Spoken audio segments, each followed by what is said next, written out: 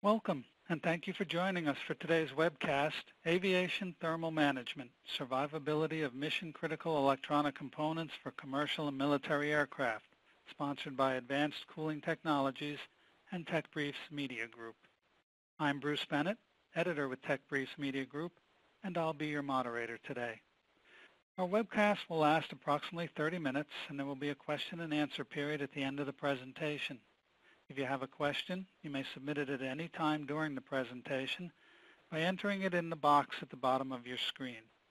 Our presenter will answer as many questions as possible at the conclusion of the presentation, and those questions not addressed during the live event will be answered after the webcast. In order to view the presentation properly, please disable any pop-up blockers you may have on your browser. At this time, I'd like to introduce our speakers. John Hartenstein, Manager of Aerospace Products, has been with Advanced Cooling Technologies since 2005. He has over 26 years of experience in research and product development engineering, focusing on advanced thermal management, including heat pipes. He is a co-inventor on three U.S. patents and has co-authored over 30 papers. He holds the Master of Science in Systems Engineering, Pennsylvania State University, Great Valley. Dr. Bill Anderson is the Chief Engineer at Advanced Cooling Technologies. He has a BS, MS, and PhD degrees in mechanical engineering from MIT, with over 30 years of experience in two-phase heat transfer.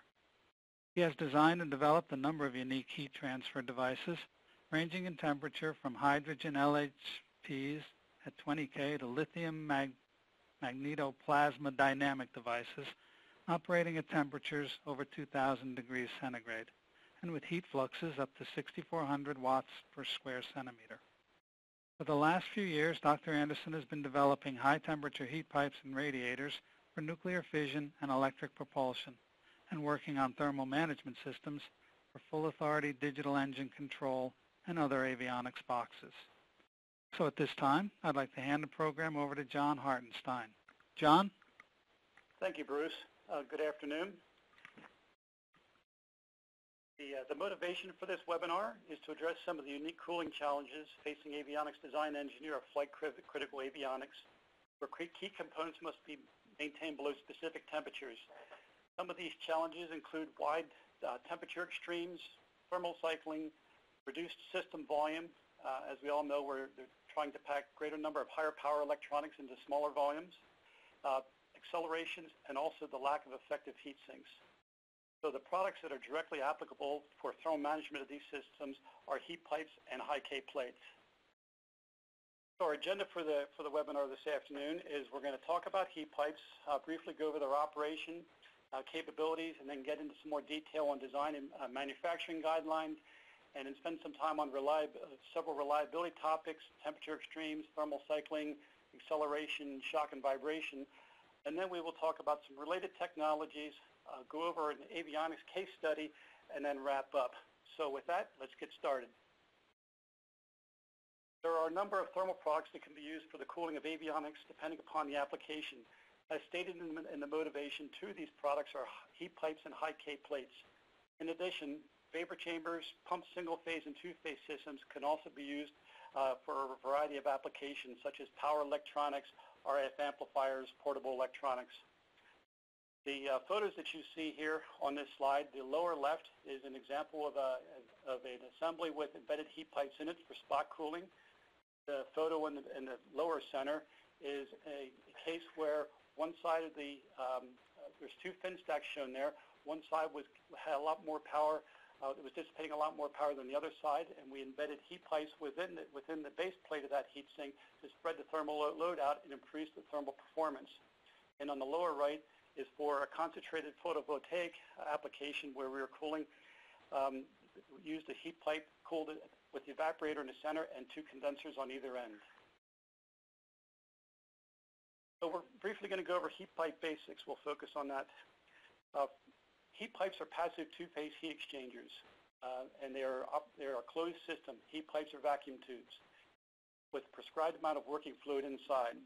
So you put heat in one end, it causes the fluid to evaporate, the vapor goes to the coldest end of the pipe, uh, condenses on the wall, gives up its latent heat of vaporization, then the fluid is drawn back to the um, evaporator through a pore structure that is bonded on the inside wall of the tube. So an analogy of this pumping the fluid back to the evaporator would be if you were to take a napkin and dip it in your coffee in the morning, how it soaks it up. It's, it's pretty much the same thing. So a heat pipe is relying on uh, two-phase heat transfer, which has very high heat transfer coefficients.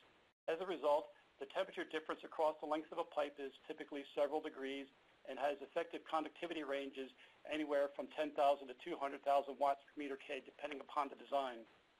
Heat pipes with standard, with copper water heat pipes with standard types of wicks uh, can withstand heat fluxes in the 25 to 75 watts per square centimeter range, and we can also design custom wicks for much higher heat fluxes. So when to use heat pipes? Uh, you would use heat pipes if you want to transfer heat from point A to point B from a heat source to an external sink, if you want to spread the thermal load out, or if you're looking to isothermalize a surface. Some of the benefits with heat pipes are size, weight, power, and flexibility. Uh, with size, by having more effective heat transfer, the overall system size can be reduced. Um, heat pipes are also lightweight components that can also help to reduce the overall system weight. Heat pipes can be used to uh, cool a, a, variety of high-power components, i.e. these hotspots, and this can help to increase uh, the maximum power output for the electronics. And flexibility, heat pipes can be made in many shapes and sizes. Some of the pictures you see here on the upper right is a high K plate. We'll talk about that in more detail in a few minutes. And below that is, our, is a heat pipe and threaded structure for a, for a radar application. Next, I want to go over some general manufacturing guidelines for, for heat pipes, some rules of thumb. First is for bending. The bend radius we try to have uh, greater than three times the outside diameter of the tube. If you go much smaller than that, uh, you can have permanent, permanent deformation of the tube wall, uh, such as crinkling of the tube wall, so we try to keep it around three times the OD. Flatness, we try to maintain two-thirds the outside diameter of the pipe. By flattening, you will lower the, the transport capability. Uh, we have gone thinner than that in the past, but uh, uh, the important feature is that you need to make sure that you understand how much power the pipe can actually carry if you go thinner. In terms of standard pipe sizes and attachment methods, uh, standard sizes in metric are, you know, from three millimeters up, and in English from eighth of an inch in diameter up to one inch. Uh, for our attachment methods, heat pipes are, are, used in higher level assemblies that you've seen in some of the in some of the photos, including uh, evaporator and condenser mounting and fins. So the attachment methods for these components are uh, epoxy and solder. Next, we want to discuss heat pipe transport capabilities and their limits. The limits for a heat pipe are, are capillary, sonic, flooding, and viscous limits, but capillary typically dominates, and we're going to talk about that this afternoon. If you take a look at the pressure balance equation below, the capillary pumping capability must be greater than the sum of all the pressure drops within the system, including vapor, liquid, and gravitational pressure drops. In most cases, the liquid and gravitational pressure drops dominate. So we have two examples shown here. The charts that you see on the right are from ACT's heat pipe calculator, which is actually up on our website. These, show, this, these plots show power as a function of operating temperature. We have an example shown for an 8-inch long heat pipe with a 2-inch evaporator, a 2-inch condenser with a standard wick structure. Top chart, sh chart shows predicted performance while operating in a horizontal orientation, and the chart below uh, shows the same pipe operating at 4 inches against gravity. So there is a reduction in performance due to the added gravitational pressure drop. If you take a look for a quarter-inch pipe operating at 60 degrees C, for the horizontal, it has a maximum capability of 54 watts versus 34 watts at 4 inches against gravity. If there are multiple bends in the pipe, you want to use the maximum difference uh, in the gravitational direction. So we recommend that you go to our, our website and, and take a look at the, the uh, heat pipe calculator. Let's spend the next several slides looking at modeling guidelines. Uh, determine the overall, to determine the overall resistance in a heat pipe, you need to add up all the resistances throughout the, the system. Uh, first is the radial uh, conduction through the wall and the wick for both the evaporator and the condenser. Next is the evaporation and condensation resistances, which is typically 0.2 centimeter squared degrees C per watt. And then you have axial resistance along the length of the pipe, and that's typically 0.02 centimeters squared degrees C per watt. So uh, a typical rule of thumb is delta, delta T's in most heat pipes is 2 to 5 degrees. One of the questions that we were asked on a routine routine basis is how to model heat pipes in conventional finite element CFD packages.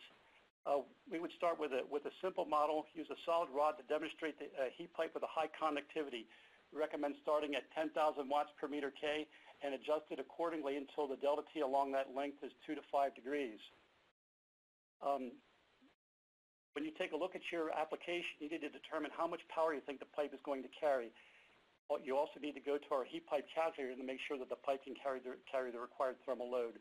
If we go back to the previous example, uh, for a quarter inch pipe operating at 60 degrees C, at uh, horizontal it was carrying 54 watts.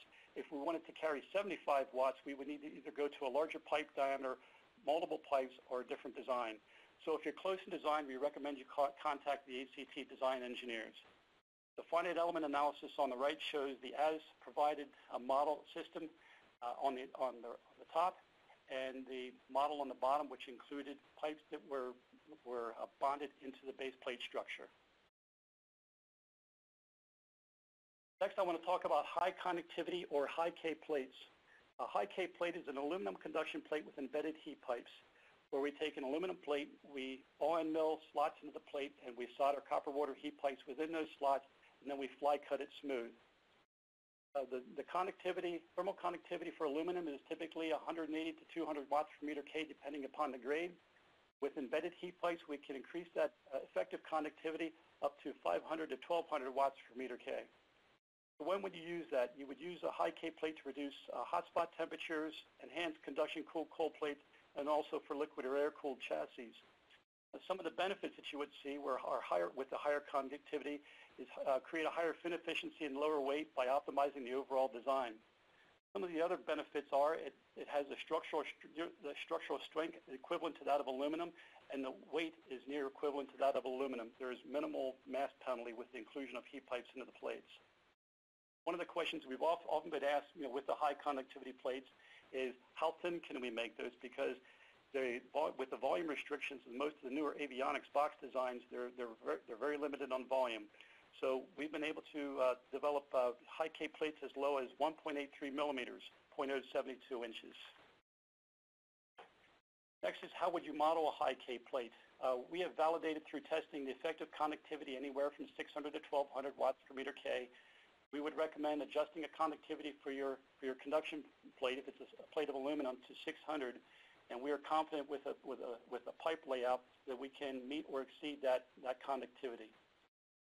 Finite element analysis that you see on the right, the upper um, view shows the as, uh, the as uh, supplied design. You can see some of the hot spots located there. And below that, you can see the design with the embedded heat pipes. You can see, actually can see the ghost images of the pipes there with cold rails on left and right. In this design, we are able to reduce the temperature by about 23 degrees. Like to take the next several slides to discuss reliability topics uh, re related to heat pipes uh, for both commercial and military application. First is the temperature extremes. Uh, there's a wide range of temperature extremes that are out there for, for many different missions, minus 55 to 85, for operational, minus 55 to 125 for survival. There's a wide range of, of, of for a wide range of applications. For the lower temperature range, below zero degrees C, heat transfer with a copper water heat pipe is mostly by conduction.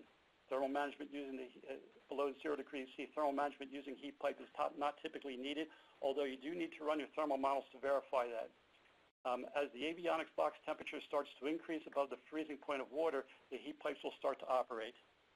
The upper temperature range, say above 100 degrees C, the vapor pressure of water is positive compared to ambient. So there are two areas that you need to address. One is the wall thickness, and the second is the final seal. Uh, the heat pipe envelope, uh, the, um, the, wall thickness, you know, above, below, uh, above 100 degrees C, it can be a, a, pressure vessel, so we just size it accordingly. But we also make sure that the wall thicknesses are, are thin enough, uh, you know, to, for weight constraints. So we evaluate each application. And then the second is final seal. In a copper water heat pipe, the final seal is a pinch weld, a cold weld. Uh, the final pinch weld seal integrity is usually good up to roughly 225 degrees C. We can go higher than that if we braze the fill tubes closed. Uh, finally, I just want to make one mention of, uh, of, copper water vapor chambers. We're going to talk about that in a few minutes. The maximum operational te survival temperature for copper water vapor chambers is 105 degrees C, and that is mainly due to the flat, flat plate geometry. Next is thermal cycling. The main premise here is that the wick structure within the pipe um, should be saturated with no excess fluid that can bridge the gap across the inside diameter of the heat pipe, causing deformation after repeated freeze thaw. Established by proper control of the fluid charge and processing operations in heat pipe manufacture. So uh, we, some of the, you can see some of the uh, typical freeze thaw tests that have been conducted at ACT from minus 20 to plus 20, minus 45 to plus 125 degrees C for many cycles. We also have some freeze thaw cycle uh, data that is shown there, as well as the environmental um, uh, test chambers that we use for the freeze thaw testing. Next, we'll discuss acceleration. The question is whether a heat pipe will, under, will operate under adverse accelerations, which is typical of most military avionics applications. If we remember the equation earlier, there is a term for gravity. With acceleration, there is an added term and an added uh, pressure drop due to the acceleration. This results in a decrease in performance depending upon the orientation. What exactly is going to happen? Um, under adverse elevations, the wick will deprime and dry out, but the wick will quickly reprime after the acceleration event ends. There will be some thermal transients that will exist, and transient modeling will need to be conducted over the event duration to assure that there's enough system mass uh, is available to cool the electronics during, during the transient. So when you're talking with the ACT design engineers, it's important that we know all of your requirements. Most avionics applications, the acceleration orientation can be in any axis, so we design for the worst case scenario. But there are other, op, um, there are other options if we know the orientation of the gravity. We can design the pipes to be gravity aided, or we can arrange the pipes in pairs so that one pipe is always gravity aided. Shock and vibration. Heat pipes are typically robust and can, and can withstand most shock and vibration conditions for a variety of applications. Testing has confirmed that vibration loading has little or no impact on the performance of ACT heat pipes. Uh, shock and vibration testing show no evidence of overstress or fatigue on the heat pipes or solder joints. One example shown here is for a loop heat pipe assembly that was successfully subjected to satellite launch environments. Next on the agenda is related um, technologies. And we're briefly going to describe vapor chambers, pump two-phase mini channels, and phase change materials. Vapor chambers. Um, like, con like conventional cylindrical heat pipes, vapor chambers transport heat from a heat source to a heat sink with a very small temperature gradient. Vapor chamber heat pipes are often used to accept heat from small, high heat flux sources and transfer that heat to much larger, low heat flux heat sink, where the heat can be uh, effectively dissipated. So you can see that in the lower left, where you have the high flux coming in at a point source and being distributed out over a much larger area uh, for low flux heat output. The upper right-hand picture shows uh, the assembly of a, a, vapor chamber. The middle of that shows the internal structure of the vapor chamber, showing the wick structure and the cylindrical posts that are there for structural rigidity.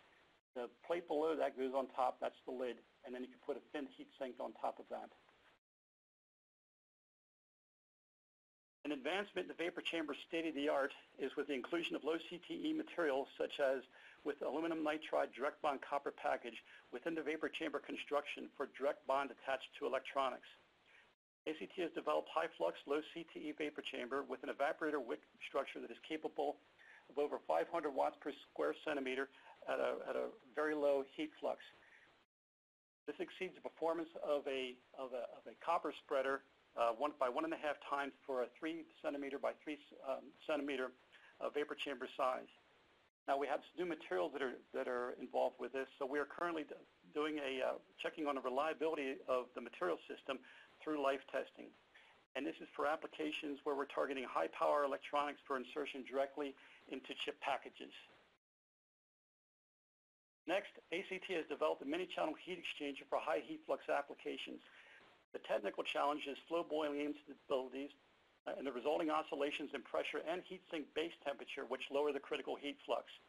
Uh, these oscillations can potentially cause structural failure and also can, the, the device being cooled can experience large temperature swings which can adversely affect performance.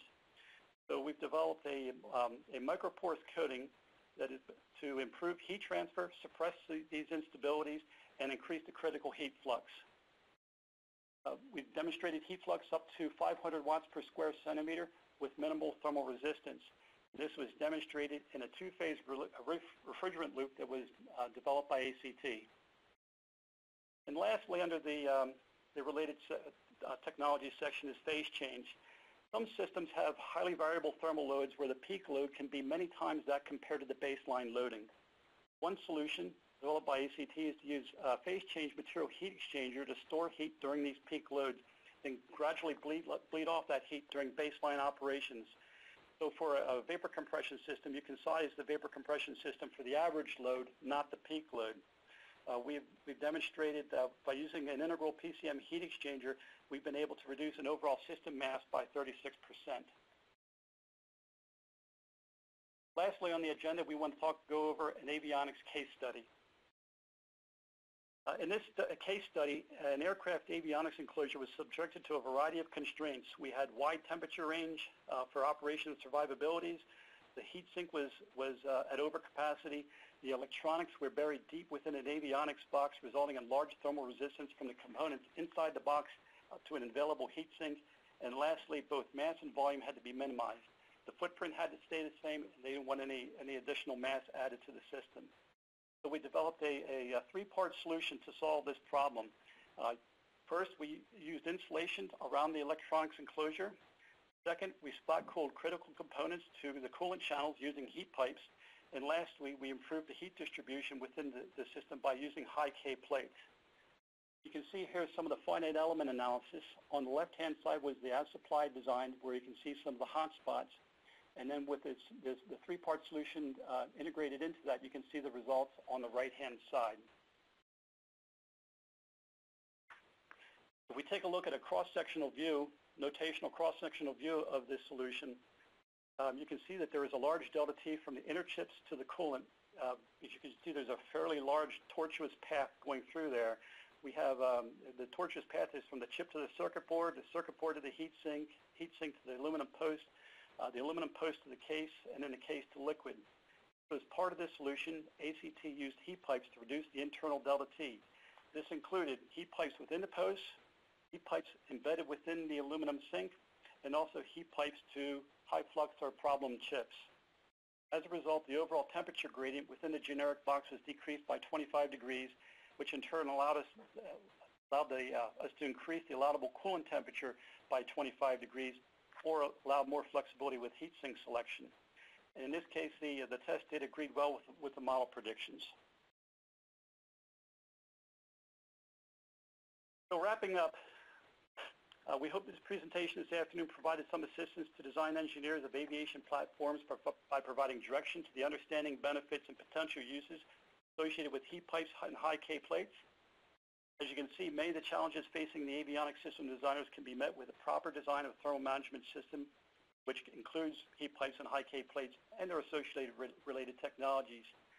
ACT has the experience in the design, prototyping, and manufacture of these systems, and we think this makes us an ideal um, thermal management partner. So with that, I thank you for your time this afternoon, and we will take some questions. Thanks, John. At this time, we'd like to begin our Q&A. If you have a question, you may submit it by entering it in the box at the bottom of your screen. And to lead off, John, does a heat pipe operate at a fixed temperature? And if not, what sets the temperature? A, a heat pipe can basically operate at any temperature between the freezing point and the critical point, although performance drops off sharply both very low and very high temperatures. The heat pipe can operate at any temperature. It's really set by the heat sink and heat source conditions. So you can basically think of the heat pipe as a superconductor, but you're going to have thermal resistances into the heat pipe, a small thermal resistance in the heat pipe, and a thermal resistance out of the heat pipe. And the balance of those combinations and your source and sink temperatures sets the operating temperature. What heat pipe fluid wall combination would I use if the heat pipe must operate below zero degrees centigrade? We would typically use, uh, we normally use copper with water working fluid. If you really need to be re removing heat below zero C, then we would probably go to copper methanol. But note that normally when you're keeping your electronics, you just want to keep them from overheating. And if the whole box is at zero degrees C, kind of solved your problem already until things start to warm up. What's the expected operating lifetime for a heat pipe? Uh, very long. Uh, typically, you'll do a, a life test on a new combination of fluid and uh, envelope material to see how long they last. But people have been doing copper water heat pipe life tests for over 20 years. And after a certain point, you basically realize that what you're doing is life testing a cartridge heater because every five years or so they burn out, but the heat pipes just keep operating. So it's typically n- never been a, a, a concern. Okay. What is the typical G limit for heat pipes application? That's really very application specific. Basically, what you have to do is, as John said, you have to have the capillary pumping capability has to be greater than the gravitational and accelerational pressure drop, the vapor pressure drop, and the liquid pressure drop. So if you have a short adverse elevation in the direction of the acceleration, then um, your G loadings can be fairly high. Typically, we can design, say, a 4-inch heat pipe to about 3 Gs. Above that, typically the heat pipe will stop operating and then will recover when the G loading goes back down below 4 Gs. And normally you're only going to see that in military aircraft for fairly short periods of time in a specific direction. Aviation applications also have some severe requirements with heating. Oh, I'm sorry, where did my question go? Hang on a second. Um, that question apparently, oh no, there we are. Start again. Aviation applications have some severe requirements with heating, not just cooling, in order to keep electronics at reasonable temperatures when going from sea level to high altitude. Could you talk a little bit about this combination of requirements as it may apply to heat pipes and heat sinking in general? I mean, essentially you can think of a heat pipe as a superconductor. So whatever your source and sink are doing, they're going to be pretty much linked. We can um, develop certain heat pipes, like if your sink gets too hot, we can have a diode heat pipe which will prevent backflow of heat, but and we have variable conductance heat pipes which will also throttle, but they're kind of a more exotic thing. We'd have to discuss the application more specifically with you. What software does ACT use for modeling the heat transfer? We have a bunch, we, we have some commercial software for some of our heat transfer type, um, looking at conduction in and out and all. The software for the heat pipe design itself is ACT uh, developed software. What has been ACT's experience using ethylene glycol as a transfer medium? That's, we have not used ethylene glycol in a heat pipe type system. Okay. that's what you're talking about. I mean, we, we use it often for pump, pump systems and all, but we're not covering that in this webinar. What is the effect of altitude on heat pipe performance? Basically, there's going to be no effect at all. The heat pipes are, are normally operating under a slight vacuum with respect to atmospheric pressure, but even going down to vacuum, you wouldn't expect a difference in the heat pipe behavior. Thank you. I'm afraid that's all the time we have today. Again, if we did not get a chance to answer your question, our sponsors will do their best to address them after today's presentation. Thanks everyone for joining us. Just a reminder, this webcast will be available on demand at www.techbriefs.com for the next 12 months.